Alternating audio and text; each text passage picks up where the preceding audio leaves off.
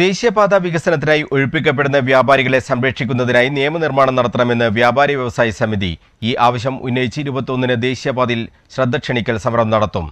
വ്യാപാരികൾക്ക് നഷ്ടപരിഹാരം നൽകണമെന്ന കോടതി വിധി പോലും നടപ്പാക്കിയിട്ടില്ലെന്നും സമിതി നേതാക്കൾ കണ്ണൂരിൽ പറഞ്ഞു. സംസ്ഥാനത്ത് ദേശീയപാത വികസനം ദ്രുതഗതിയിലാണ് നടക്കുന്നത്. ആയിരക്കണക്കിന് വ്യാപാരികൾക്ക് കുടിയൊഴിയേണ്ടിയും വന്നിട്ടുണ്ട്. ഇവർക്കെല്ലാം ന്യായമായ നഷ്ടപരിഹാരവും പുനരധിവാസവും ഉറപ്പാക്കണമെന്ന് വ്യാപാരി വ്യവസായി സമിതി ജില്ലാ സെക്രട്ടറി പി എം സുഗുണൻ ആവശ്യപ്പെട്ടു. നഷ്ടപരിഹാരത്തിന് അപേക്ഷ നൽകിയവർക്ക് ഉടൻ അത് ലഭ്യമാക്കണം. സർക്കാർ പ്രഖ്യാപിച്ച നാമമാത്ര നഷ്ടപരിഹാരം പോലും ലഭിക്കാത്ത സ്ഥിതിയുണ്ട്. കുടിയൊഴിപ്പിക്കലിനെതിരെ ഹൈക്കോടതിയെ സമീപിച്ചപ്പോൾ ഉണ്ടായ വിധി പോലും നടപ്പാക്കാത്ത സാഹചര്യമുണ്ടെന്നും സുഗുണൻ പറഞ്ഞു. ഉദ്ഘാടനം കൂടി കെട്ടിട ഒന്നും വില കൊടുക്കുമ്പോൾ മുപ്പതും നാൽപ്പതും അമ്പതും വർഷമായി കച്ചവടം ചെയ്യുന്ന വ്യാപാരികൾക്ക് ഒരു രൂപയുടെ നഷ്ടപരിഹാരം കൊടുക്കാതെ തീർത്തും കുടിയൊഴിപ്പിക്കുന്ന അവസ്ഥയാണ് ഇപ്പോൾ നിലവിലുള്ളത്.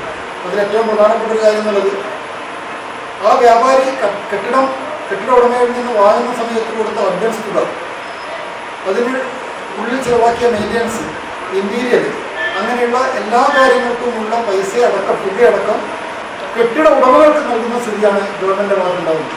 ഇക്കാര്യങ്ങൾ ഉന്നയിച്ച് ബുധനാഴ്ച രാവിലെ പതിനൊന്ന് മുതൽ പതിനൊന്ന് മുപ്പത് വരെ ദേശീയപാതയിൽ ശ്രദ്ധ ക്ഷണിക്കൽ സമരം നടത്തുമെന്നും നേതാക്കൾ പറഞ്ഞു. M M Hameed Haji E Sajeevan എന്നിവരും വാർത്താസമ്മേളനത്തിൽ പങ്കെടുത്തു. News bureau Kannur.